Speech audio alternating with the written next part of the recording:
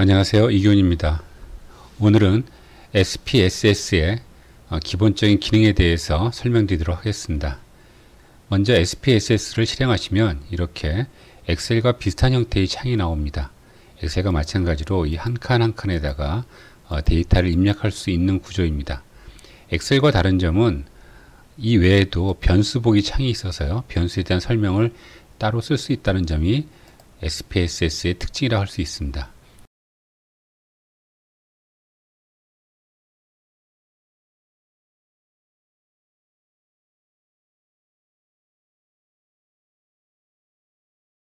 먼저 데이터를 열어보도록 하겠습니다. 첨부된 기술 통계 분석 SEV 파일입니다. 불러온 데이터를 살펴보도록 하겠습니다. 어, 데이터는 모두 25줄이고요. 어, 오른쪽으로는 어, 6칸이 가고 있습니다. 어, 중간에 점이 찍혀 있는 것은 실제로 어떤 값도 없다라는 뜻입니다. 결측 값을 이렇게 점으로 표시되어 있고 여러분들이 직접 점을 찍는 것이 아니라 자동으로 점이 찍혀집니다. 이 칸은 변수를 뜻합니다. 이것은 번호에 관한 데이터고요. 이건 나이에 관한 데이터, 어, 교육 정도에 관한 데이터입니다. 그리고 이 행은 어, 케이스라고 이야기를 합니다. 응답자를 뜻하는 것이죠. 총 25명의 응답자에게 6개의 변수에 대해서 측정을 한 값입니다. 여기 교육 정도를 보시면 1로 표시되어 있죠. 성별도 1로 표시되어 있습니다. 이게 무슨 뜻인지를 현재는 모르는데요. 여러분들이 여기 변수 보기 창으로 가시면요. 어, 변수에 대한 설명들이 나와 있습니다. 어, 교육 정도 보시면 이 값이 1, 2, 3인데 1은 고졸 이하, 2는 대학 재학, 3은 대학원 졸 이상인 것을 레이블을 이렇게 써놨습니다. 여러분들이 뭔가 추가하시고 싶으시면 여기다 이렇게 써서 추가를 누르시면 됩니다. 그리고 성별에 관련돼서도 1은 남자, 2는 여자 이렇게 입력이 되어 있습니다. 자, 그리고 TV는 무엇인지 신문이 무엇인지 자세하게 신문 보는 시간, TV 보는 시간 이렇게 표시가 되어 있습니다. 그래서 레이블에는 이 변수에 대한 어떤 설명이 들어갈 수가 있습니다. 이렇게 복사를 할 수도 있고요. 예, 그리고 맨 우측에 가면 측도라는 것이 나오는데 어, 지금 성별인 경우에는 남자, 여자, 즉 이 변수는 명목형 변수입니다. 예, 명목형이라는 것은 항모로 되어 있다는 뜻이죠. 남녀, 뭐 직업, 거주지 이런 것들이 명목형입니다. 그리고 교육 정도 같은 경우에는 어, 명목형이긴 하지만 뭐 고졸, 대졸, 대학원 이렇게 순서가 있는 경우에는 어, 순서형 척도라고 이야기합니다.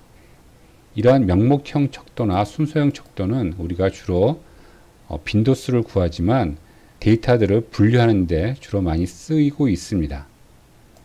그리고 나머지는 이제 척도로 되어 있습니다. 척도. 이 척도는 나이, 뭐 시간 이런 숫자로 되어 있는 값들입니다.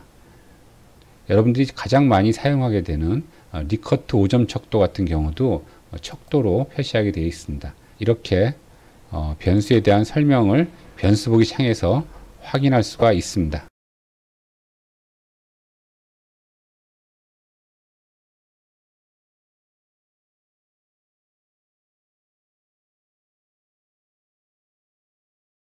자, 여기서 이제 우리가 간단한 분석을 실행해 보고자 합니다.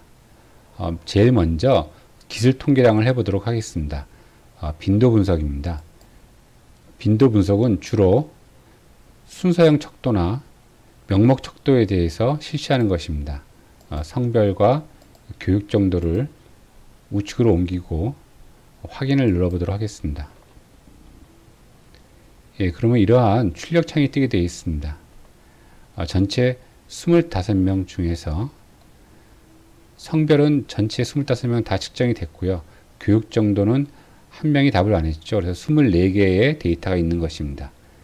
그리고 남자는 11명, 여자는 14명. 남자의 비율은 44%, 여자는 56% 이렇게 나왔습니다. 교육 정도는 고졸 이하가 6명, 대학 재학이 10명, 대학원 졸 이상이 8명, 그리고 한 명이 결측치에서 25명이고요. 각각의 퍼센테이지가 아, 주어지고 있습니다.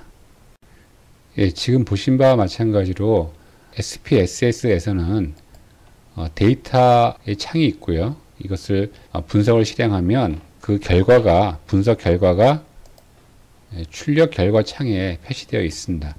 어, 여러분들은 나중에 이 출력 결과 창을 어, 저장하셔 가지고 어, 과제로 제출하시면 됩니다. 그러니까 중간중간에 이것을 지우지 마시고 계속 남겨두시기 바랍니다.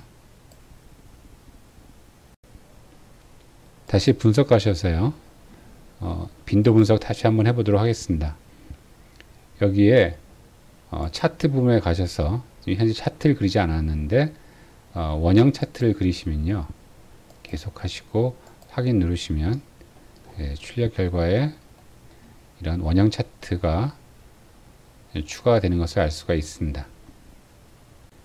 다시 분석하셔서요. 이번엔 기술 통계량의 기술 통계를 하도록 하겠습니다. 기술 통계라는 것은 데이터를 설명하는 기술하는 그런 통계량을 뜻하는 것입니다.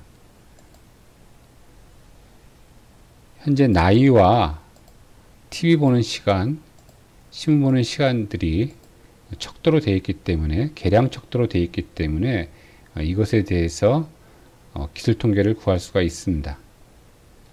예, 출력 결과는 예, 출력 결과는 이렇게 간단하게 나옵니다.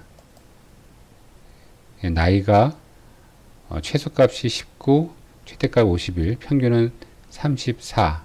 그 다음에 t 보는 시간, 시음 보는 시간에 대해서 어, 최소값, 최대값, 평균값, 표준 편차들이 표시됩니다. 다시 분석으로 가셔서요.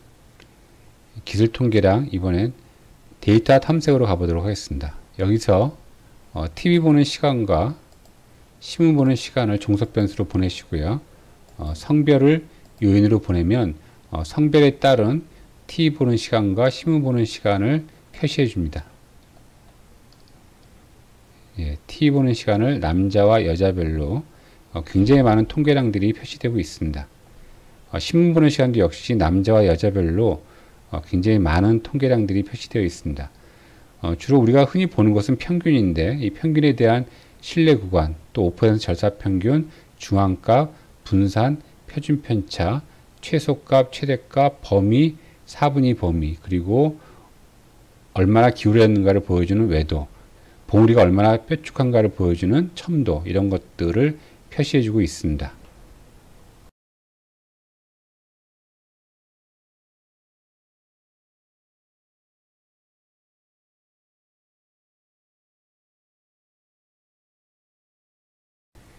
예, 방금 전에 분석에 가셔서 기술 통계량의 빈도 분석이나 기술 통계, 데이터 탐색 하시게 되면 어, 여러 가지 형태의 표가 얻어졌습니다. 하지만 이렇게 얻는 표보다는 우리가 정확하게 표의 형태를 지정하는 것이 좋을 것입니다. 그래서 분석에 표에 가셔서 사용자 정의표를 누릅니다. 확인 누르시고요. SPSS의 가장 큰 장점은 이 표 만들기입니다. drag and drop을 이용해서 우리가 표를 아주 쉽게 만들 수가 있습니다. 자, 예를 들어서 어, 성별에 따른 나이를 한번 계산해 보도록 하겠습니다. 자, 성별에 따른 나이가 이렇게 어, 표로 만들어집니다. 확인 눌러 보도록 하겠습니다. 예, 남자 34세 평균, 여자 평균 35세입니다. 예, 물론 이제 남자 나이와 여자 나이가 수점 자릿수가 없이 표시가 되어서 어, 자동으로 지금 평균도 수점 자리가 없이 나왔는데 다시 가셔서요. 표 사용자 정의표 가셔서 우리가 이걸 좀 바꾸도록 하겠습니다. 어, 요약 통계량 누르시고요. 지금 표시하는 형식이 자동으로 되어 있는데 자동이 아니라 위쪽으로 올라가시면 NNN 이렇게 되어 있고 소수점 이하 자리를 두 자리로 지정을 해줍니다. 선택한 항목에 적용하시고 닫기 누르시면 확인 누르십니다. 그러면 아까보다는 좀 더 보기가 좋은 그런 표가 만들어졌습니다. 자, 다시 분석하셔서요. 표에 가셔서 사용자 정의 표 확인 누르시고 이것을 취소하시려면 도로 이렇게 보내시면 됩니다. 예, 드래그해서 도로 보내시면 되고요. 자, 이제는 남녀별로, 남녀별로 TV 보는 시간을 대해서 표를 만들어 보도록 하겠습니다. 자, 성별이 열로 가시고요. 어, 여러분 표를 만드는 팁에서 분류가 되는 함수가 되도록이면 열로 가는 것이 좋습니다. 아, t 보는 시간이 행으로 갑니다. 그리고 심을 보는 시간도 같이 더해 볼까요? 예, 심을 보는 시간을 넣으실 때는 요 아래쪽에다가 이제 추가하시면 되겠습니다. 그리고 다시 요약 통계랑 가셔서 자동이 아니라 n에는 소수점 이하 자리 두 자리 그리고 모든 항목의 적용 닫기 확인 누르시면 아, 이러한 표가 얻어집니다. 남자는 T 보는 시간이 평균 38분, 여자는 56분, 시 보는 시간은 남자가 57분, 여자가 34분 이렇게 어, 표를 구할 수가 있습니다. 자, 한 번만 더 해보도록 하겠습니다. 표에 가셔서 이번엔 이 표에다가 어, 교육 정도도 포함시키도록 하겠습니다. 교육 정도를 어떻게 포함시킬까요? 예. 자, 이렇게 포함시키겠습니다. 예. 확인 누르시면 어, 성별에 따라서 교육 정도에 따라서 TV 보는 시간 나와 있습니다. 또는 반대로 또 또는 여러분들이 이 순서를 바꿀 수도 있죠. 예, TV 보는 시간을 이쪽으로 보내고요. 신문 보는 시간을 그 밑으로 보냅니다. 예. 이렇게 drag and drop으로 여러분들이 원하시는 표를 구할 수가 있습니다. 아까보다 어떤가 이게 보기 좋은가요? 예. 예. 이런 식으로 어, 표를 만드는 아주 편리한 기능이 SPSS의 장점이라고 할 수가 있습니다. 자 이번에는 표에다 합계를 넣어보도록 하겠습니다. 분석하셔서 표에서 사용자 정의표 가신 다음에 어, 방제 제가 만든 표가 이런 표였었죠. 여기서 교육 정도에 대한 합계를 포함시키도록 하겠습니다. 주의하실 것은 이 선택된 항목이 맨 밑으로 가셔야 됩니다. 그리고 다음에다가 어, 소개를 추가하겠다는 뜻입니다. 계속 누르시고 적용하시면 맨 아래에 합계가 표시되어 있습니다. 또 남자 여자에 대한 합계도 우리가 표시할 수가 있습니다. 소개 추가하시면 계속 적용. 그래서 교육 정도에 대한 합계, 성별에 대한 합계가 표시될 수가 있습니다. 어, 이러한 결과표가 나오면 여러분들이 마우스 우측 버튼에서 복사하신 다음에 그리고 엑셀을 여시고요. 여기에 카피를 할 수가 있습니다. 컨트롤 V 하시면 이렇게 표가 만들어집니다.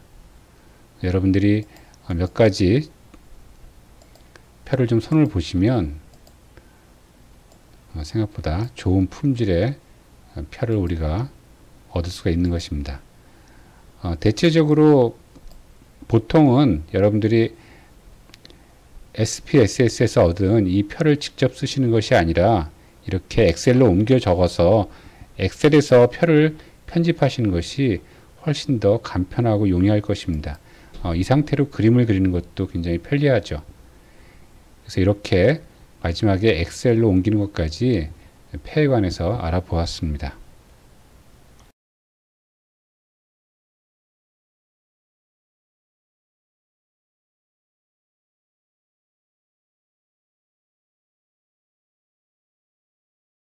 어, 이번에는 그래프를 그리는 방법을 설명드리도록 하겠습니다. 어, 그래프도 역시 어, 차트 작성이라는 것이 있고요. 또 가장 많이 쓰는 그런 그래프 형태를 모아놓은 legacy 대화 상자가 있습니다. 이번엔 legacy 대화 상자를 이용해서 그려보도록 하겠습니다. 막대형 차트를 들어가셔서요. 단순 정의하시고 예, 범주에다가는 성별을 집어넣고요. 그리고 막대 표시에다가는 어, 기타 통계량을 체크하신 다음에 어, T 보는 시간을 보내도록 하겠습니다. 어, 확인 누르시면 예, 이러한 막대 그래프가 얻어지게 됩니다. 예, 다음은 그래프 중에서 어, 산점도를 그려보도록 하겠습니다. 단순 산점도고요. 예, TV 보는 시간과 어, 신문 보는 시간이 어떤 관계를 갖는지 산점도로 그려봤습니다. 예, 이러한 형태의 산점도입니다. 예, 약간 음의 관계를 갖고 있다고 볼 수 있겠죠. 더블 클릭하셔가지고요. 예, 여기에 추세선 추가를 누르시면 이렇게 음의 추세선이 추가되는 것을 알 수가 있습니다. 아, 이러한 관계를 갖고 있다는 것을 우리가 알 수 있습니다. 예, 이번에는 어, 차트 작성기를 이용해서 그래프를 그려보도록 하겠습니다. 이것은 표 작성기와 매우 유사한 형태입니다. 먼저 이런 막대 그래프를 그린다고 하면 예, 이쪽에다가 성별을 끌어 놓고요. 어, 신문의 시간을 여기에 드래그 하시면 이러한 그림을 아주 직관적으로 쉽게 얻을 수가 있습니다.